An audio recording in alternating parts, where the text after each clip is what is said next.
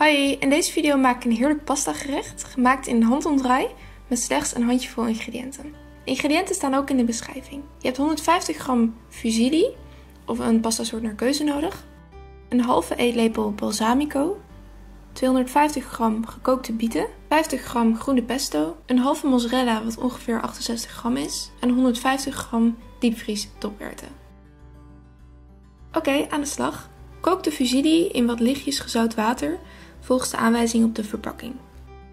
Snijd de gekookte bieten in blokjes, door ze eerst in de lengte in reepjes te snijden en vervolgens in de breedte.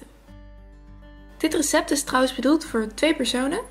En ik denk dat ik dit recept binnen een kwartier heb gemaakt. Is echt ideaal als je wat later thuis komt of gewoon niet zoveel tijd hebt om te koken.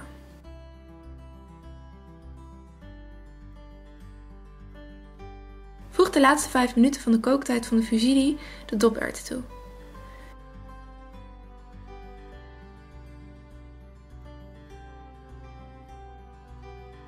Meng de balsamico met de bieten.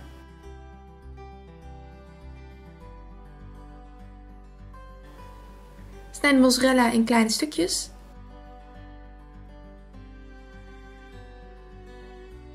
En meng de pasta en doperwten, nadat je ze natuurlijk hebt afgegoten, in de vergiet. Samen met de bieten, mozzarella en pesto, totdat alles goed vermengd is.